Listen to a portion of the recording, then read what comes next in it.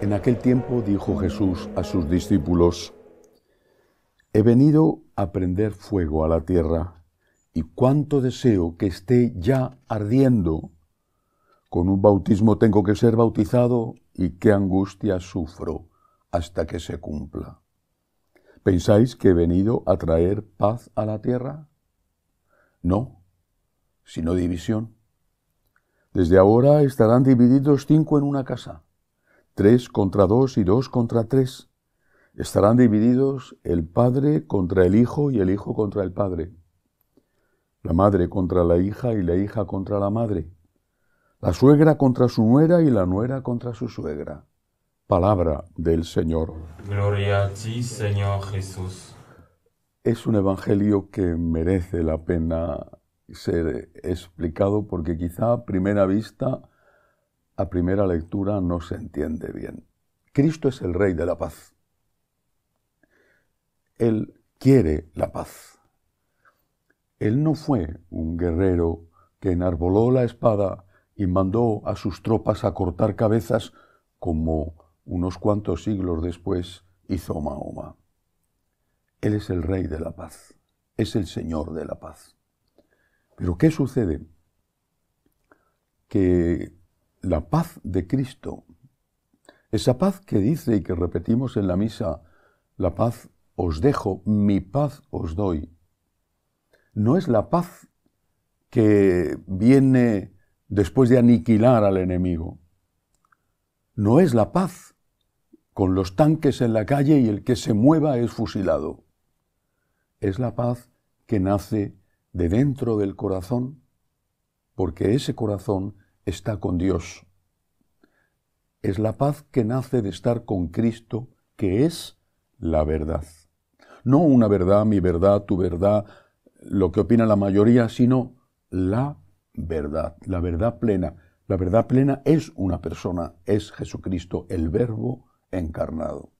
Es decir, cuando Jesús, el Rey de la Paz, proclama la verdad,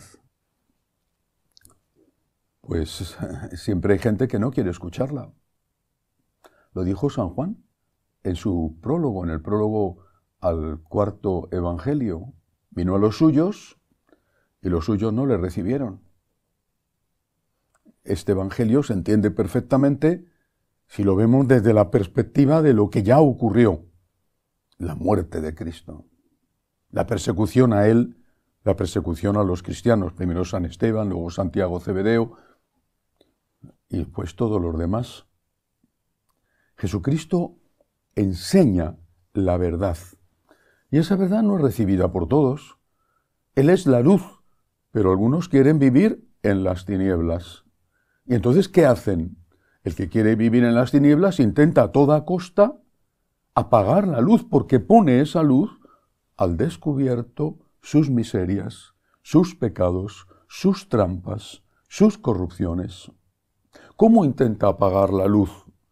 Matando al que es la luz, muerte de Cristo, muerte de los apóstoles, o bien diciendo, en realidad, lo que quería decir el Señor era otra cosa. O, en realidad, el Señor no sabía muy bien de lo que hablaba. Nosotros hoy que tenemos más conocimientos que hace dos mil años sabemos bien que eso que decía él, o lo que decía San Pablo, estaba equivocado, porque ¿cómo se puede afirmar eso? Están matando al mensajero que es Jesús, a la palabra hecha carne, la están matando diciendo que no sabe de qué va, que no hay que hacerle caso, que en esto, en aquello, en aquello otro, todo aquello que va en contra de lo que dice el mundo, estaba equivocado están negando su divinidad, están crucificándole de nuevo. Por eso Jesús habla de que ha venido a traer la guerra. Vuelvo a leer el texto. ¿Pensáis que he venido a traer paz a la tierra?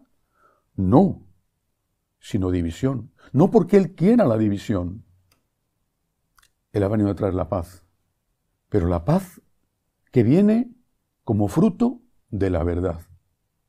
Y eso es lo que los enemigos de la luz no quieren aceptar. Son ellos los que hacen la guerra. Son ellos los que buscan acabar con la luz del mundo. La culpa no es de la luz, la culpa es del que quiere seguir viviendo en la oscuridad. Esta batalla llevamos dos mil años librándola, desde nuestro Señor hasta nuestros días. ¿Qué mal hacen, por ejemplo, las monjas de la Madre Teresa de Calcuta en Nicaragua para que sean expulsadas de Nicaragua? Se dedican a cuidar a los más pobres de los pobres, pero da igual, son expulsadas. ¿La culpa es de ellas? Son expulsadas, acusadas de ser espías a favor de Estados Unidos. Absurdo completamente. Pero ellas son luz y el dictador que quiere vivir en las sombras las expulsa. ¿Y qué mal hacen los campesinos de tantos sitios de Nigeria, sobre todo del norte, cuando llegan las bandas de musulmanes y arrasan sus tierras, matan o expulsan a los supervivientes. Ellos quieren vivir su vida tranquila, pero son cristianos. Y entonces ellos, los musulmanes, fulani, radicales, extremistas, lo que quieras, los musulmanes, los matan. ¿Es culpa de ellos? ¿De los asesinados?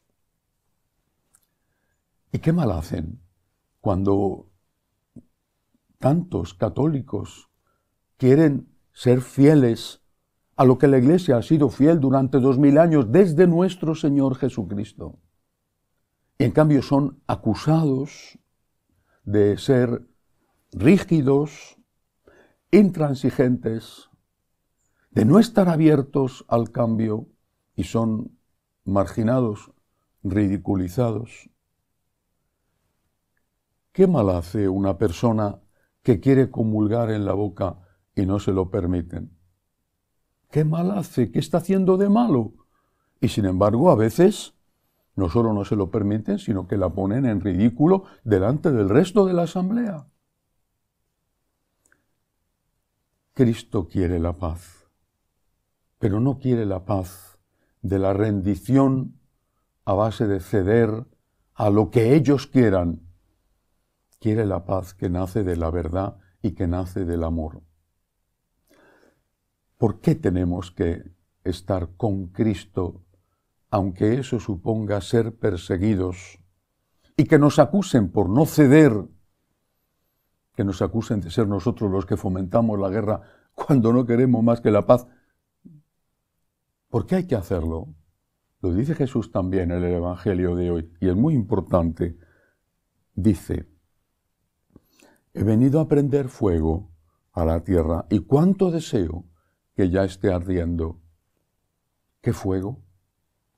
El fuego de su amor, el fuego del sagrado corazón, el fuego del amor ardiente a Él, del amor ardiente a aquel que nos ha amado como nadie nos ha amado y como nadie nos amará jamás, el fuego del amor a Jesús el fuego del amor a Dios, el fuego del amor a la Virgen, si ese fuego arde en ti, aunque sea poquito, o si quieres que arda en ti con toda su fuerza, vas a tener problemas, los vas a tener. Y encima te van a acusar de que tú eres el que causa los problemas, ¿por qué no te callas? Porque dices esto no puede ser, esto está mal, no podemos actuar de esta manera porque hacemos daño a otros, pero ese fuego del amor a Dios hará que seas como uno de aquellos profetas del Antiguo Testamento que hablaban en contra de todos, pero que así salvaban al pueblo que les tiraba piedras. San Juan Pablo II decía, el mundo no se salvará por esta o por aquella idea, se salvará por los santos, que son aquellos que saben ir contra la corriente en cada momento para poner la barca hacia Dios y evitar que la barca se vaya hacia un lado y se hunda. Que el fuego del amor de Dios llene nuestros corazones, abrase nuestros corazones, que busquemos la paz, que busquemos y seamos siempre dóciles a la verdad. Que así sea.